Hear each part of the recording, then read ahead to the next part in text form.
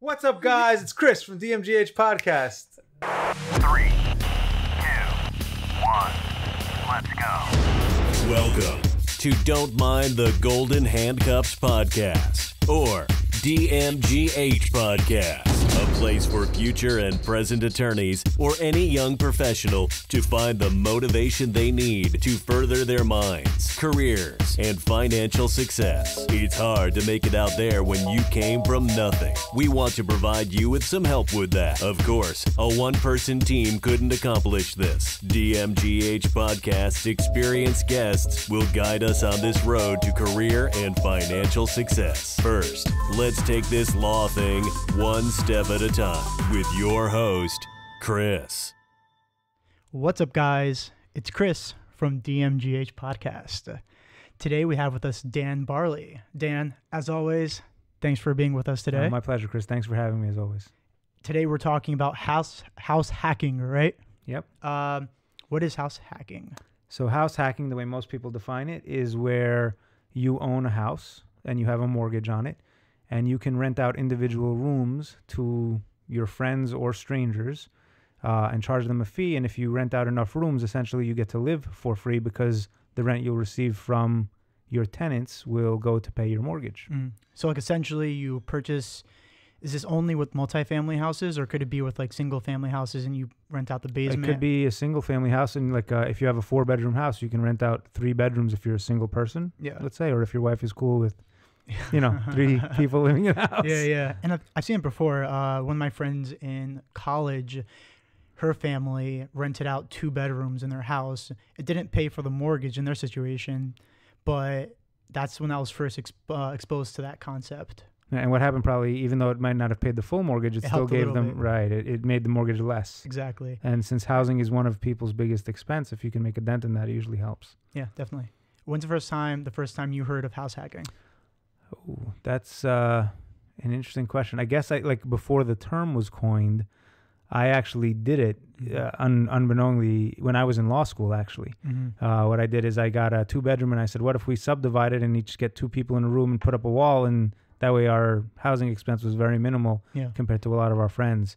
Um, I didn't know what it was called. I don't. I think I might have heard the term for the first time around 2012. Yeah, Yeah, it's I really think- caught on a lot, as I'm sure you know. for sure. I think once it was coined, you start seeing a lot more people Yeah. doing it. Yeah. When I- I first heard of about it through Bigger Pockets, I read Yep. the book, and they talked about house hacking. Um, but you don't hear a lot about the negatives. Right. So if, if you're willing, I want to kind of go through the positives with you and then the Yep. negatives. I think that'd be great. Very Uh, thorough. So one positive that, that I heard about when I read the book, let's say for Bigger Pockets, is that you're able to use a FHA loan many times um, for house hacking because you could purchase your Right. home with the FHA loan, and then obviously, like we we talked about, you could rent out the first floor or whether it's different rooms. Correct. Um, but not everyone is eligible for a FHA loan, and it might not be good for everyone either, right? That is correct. And also, just you know, with FHA loans, you do have to live there as your primary residence, I believe. For how long For I, I'm not sure now if it's one year or two of the first three years or two of the first five years, but there is a requirement that you have to live there as your primary residence. Yeah. And I've actually had clients who never lived there and then they got caught later on, and that was not a good situation for them. Yeah, that's not pretty. Yeah. So definitely, if, you're looking to invest out of state, you probably should steer away from house hacking. Well, no, you shouldn't necessarily steer away from house hacking, but you definitely should not get an FHA mortgage because you're not going to live there. Like I Oh, always yeah, tell everyone, But to, but oh yeah, that's true, I guess, because you can always purchase a uh, house in Kansas, um, not FHA, rent out to Yeah, rooms. conventional rent out individual rooms, right, Yeah, of course, yeah. but I like I tell everyone, clients ask me all the time, investors ask me all the time, never ever commit mortgage fraud. It's not worth it. yeah, for sure. I mean, once you're caught, not only Yeah. is your is, are you caught, but now your credibility is down the tubes as well to your friends and family that Yep. found out. And anyone who knows, and if you're in jail, there people are going to know that too. Yeah. I feel like when I heard about house hacking, I was also introduced to FHA loan at the same time. So I kind of think of them as very similar, Together? although they're obviously two separate you They know, are. type of things. But it's exciting, right? Like if it's the first time you get introduced to that concept, you're like, Yeah. "Oh my, this is great! This is Yeah. genius!" And you get excited and you know Yeah. want to take action on it. And I think also if you're doing house hacking, you may be in the same economic position of a person wanting to do FHA loan, Mhm. you know, because it's one good way to invest when you don't have a lot of money. That's true. So- Because FHA loan, you have to put down three and a half percent only. Exactly. Yeah. And I think they may have lowered it. I'm not sure. Maybe But I I I, have- I know there's a something. I think there's a three percent down loan now. I don't know if it's FHA or not, but yeah, I thought that was. you have to be careful because you a lot of times they have mortgage insurance, which adds a lot of money to the mm, sometimes to the payment. Yeah, and don't you also have to pay a certain amount to the what is it, government or the bank? Yeah, FHA loans? So it's uh, called MIP, which is mortgage insurance premium, and it's usually a one-time charge, uh, which is a percentage of the loan amount that's paid up front, and then monthly you have a monthly insurance charge because it's a federally insured loan. and that cuts into your cash flow. Of course, of course, and that's the name of the game. Yeah, Yeah. definitely. Uh, so yeah, so I heard them interchangeably, but uh, I guess you could do both of them together. You don't have to. So some Right. positives. What to you are some positives? Uh, the positives are that you get to reduce your per- own personal housing expense. Uh, you get the knowledge of being a landlord. You get um, cash flow, of course, which is king. Um, so those, I think, are the three biggest positives that come to my mind right away. Mhm. Um, but also, I guess the experience of being a landlord is, is pretty priceless because it's your own house. You are Yeah. managing tenants even without really feeling like you're managing tenants. Yeah. Because most people I know that house hack it's to friends and or acquaintances, someone they have some sort of relationship with. Yeah. I feel like I plugged in bigger pockets like so many times in this podcast, but they're so good. They are amazing. I know. I listened to one episode where Shout uh, out to Bigger Pockets. Yeah, shout out. uh, Brandon Turner's in Hawaii now, isn't he? I believe so. That's Brandon, right if you're there. watching, um, and I think he's also house hacking down there. I, I think you might I, be right. I think I saw that on his Instagram. I think you might be right. That's Brandon, leave a comment. um, but uh, I remember one of their episodes. It was like a a kid was talking about how he was in college and he Mhm. house hacked. Yep. So I think that's amazing because compared to buying a six family home, this is something someone of any age can do. Whether you're 20 or even 18, it's something that you can do as soon as you could buy a property and you have Right. some cash to put Right. down. In this case, it's three to three and a half. Yep. You can kind of get started, which is Yeah. nice. Absolutely. And that way you get a leg up on almost everybody if you start early enough, you know? when I first started about thinking and about investing in real estate, that was my first option. I was thinking about uh, like how can I Mhm. house hack. Yeah. But ended up things worked out a little differently, and I was obviously I was introduced to different opportunities. But that was my first initial attempt was how am I going to house hack? Yep. Because it's such a witty. It's of- very yeah, it's- very clever. Very good thing for a lot of people to do if they're just getting started. yeah, and also like you said, I think a big positive is a lot of times you know the person you're renting to, Yes. Which is helpful. Yes. But but there's, there's always a some but. so negatives. This is the part where you don't find anywhere else in any other podcast. Yeah, I mean, I, I'm a big, big podcast listener, and I, I never hear anyone talk about the negatives of house hacking. So I think uh, for completeness sake, it's important to talk about some of those negatives and know what you're getting into. Yeah. The biggest negatives in my mind are one, as you just said it, is you're generally renting to friends and or acquaintances who you have a relationship with. So there's no worse way to ruin a relationship than to have someone become co- adversarial if they're not able to pay their rent Yeah. then you you feel awkward. I have to confront them. It's my house. They owe me the rent, but this is my friend. Should I let them slide? Exactly. And then you get into that you know slippery slope of how much do you how much leeway do you give them Yeah. because they're your friend or they're your you know sibling or, or whatever the case might be. I mean, I've seen Yeah. friendships end just because one person owed another person money for pizza, Yeah, let oh alone like hundreds of dollars, wow. thousands of dollars. Yeah. I've seen people go to jail over you know not necessarily trivial amounts of money, but small amounts of money because Yeah. it makes people go crazy. it destroys families, let alone Oh yeah, friendships. absolutely. Yeah, uh, I have will contests in my office, so it's all over money. Yeah. Yeah. Um, although we just talked about this, I do still feel like if you're house hacking, it's more common when you're doing it in state rather than out of state because you're living in it, right? Correct. You could do it out of state if Well- it's like a vacation home or if you're Yeah, but, if it's out of state, I think then it's just the rental because exactly you're not yeah, there. You're not there, Yeah. right? So I guess one negative is that if you're house hacking, your opportunities in terms of real estate and purchasing real estate, it, it's in your local area.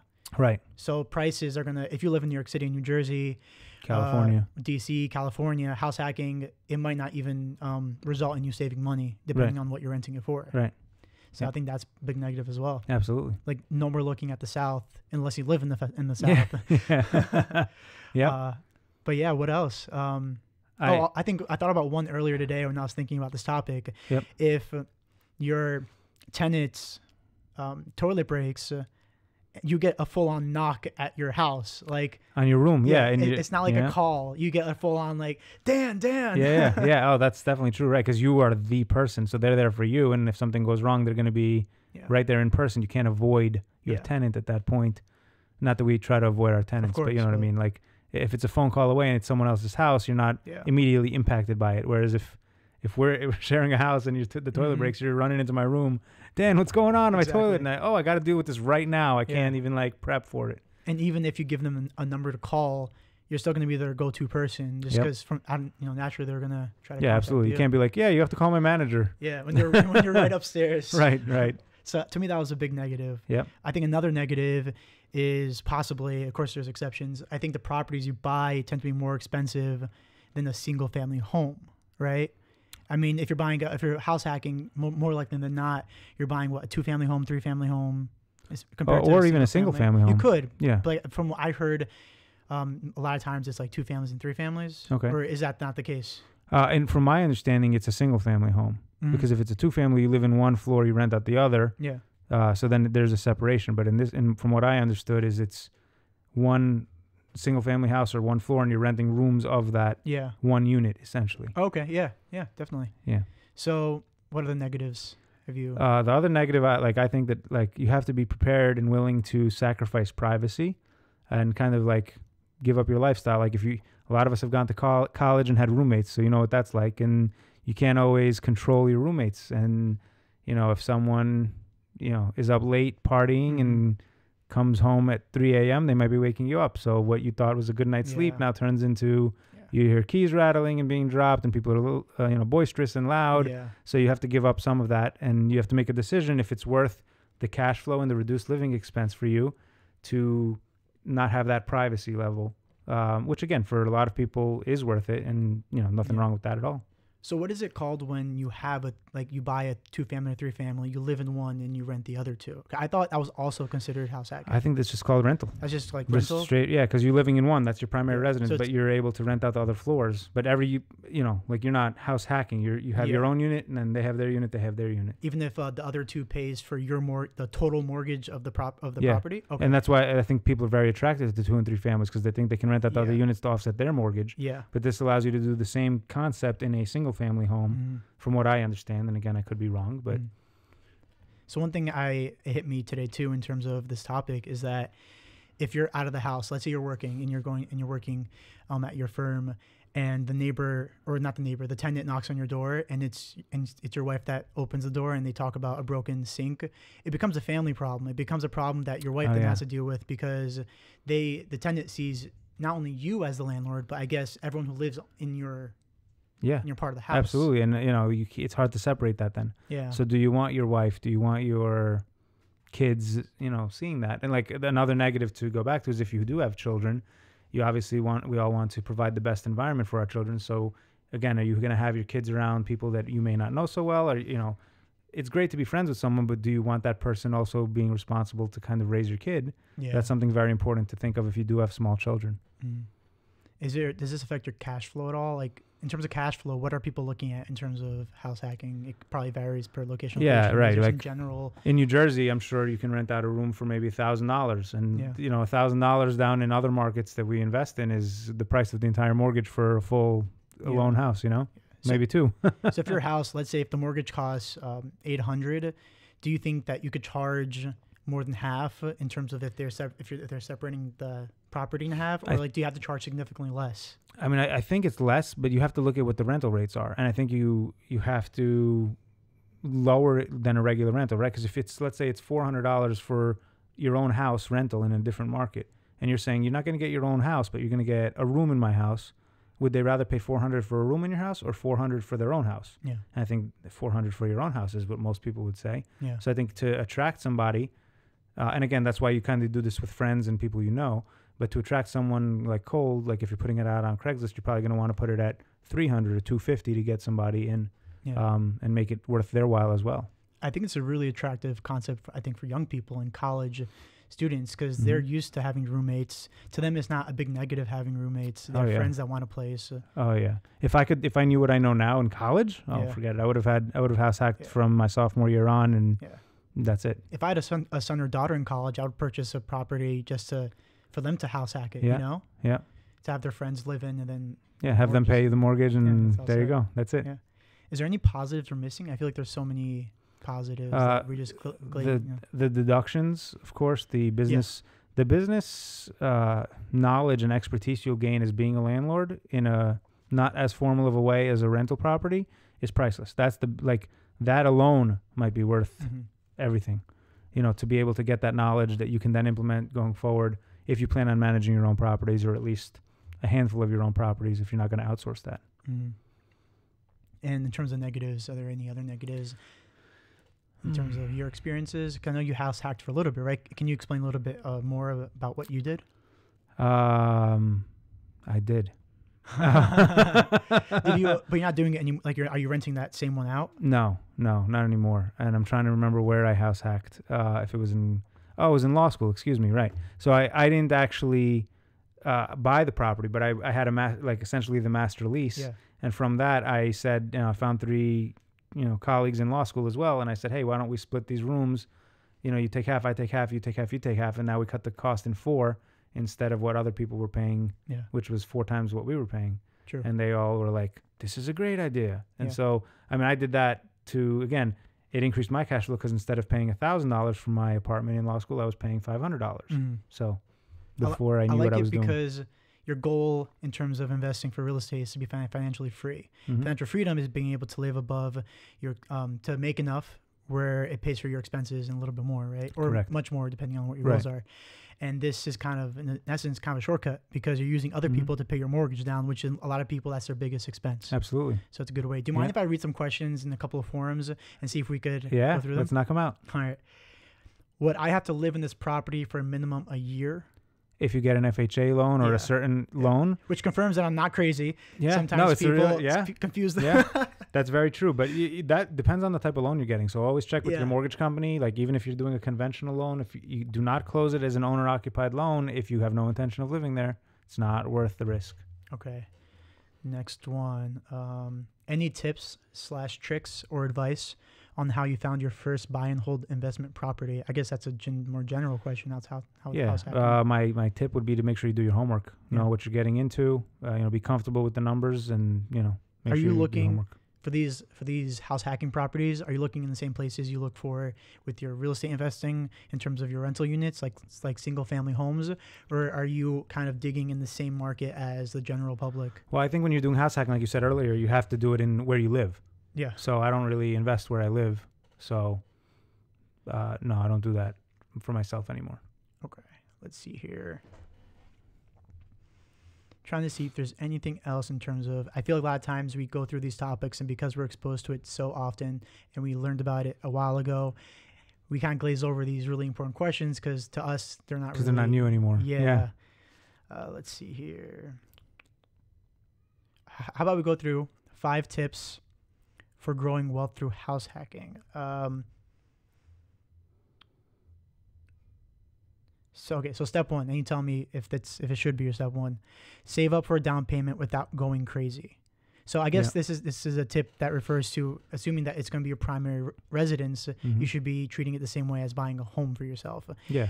Now, with rental properties, let's say you're buying out of state, you don't care about how the lawn looks necessarily. You don't care about the colors of the um, the house. You don't care about Right. the drawers necessarily, the, the style of the house.